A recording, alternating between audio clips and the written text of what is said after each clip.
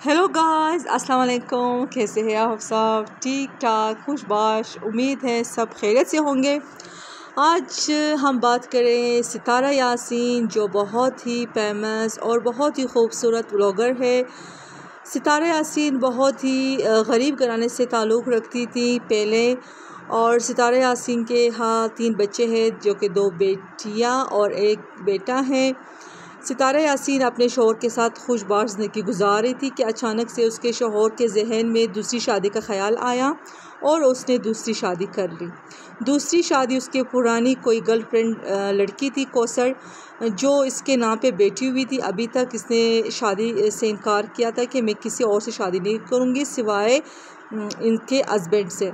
तो इसके हस्बैंड ने उसके साथ शादी कर ली और सितारा यासीन बिचारी के घर पर दूसरी औरत का राज हो गया।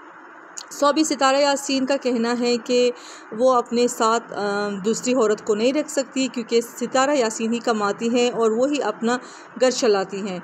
इसीलिए वो कहती है कि मुझे अपने बच्चों के साथ रहना है और खुशबाश रहना है। कौसर कभी यहाँ, कभी वहाँ फिरती रहती हैं, कोई ठिकाना नहीं है। तो कोसर को चाहिए कि अपने बारे में सीरियस होके सोचे और हाँ ज़िंदगी गुजारे या ज़िंदगी से चली जाए। तो अगर हमारी वीडियो पसंद आए तो प्लीज़ लाइक शेयर कमेंट्स करें। अल्लाह हाफ़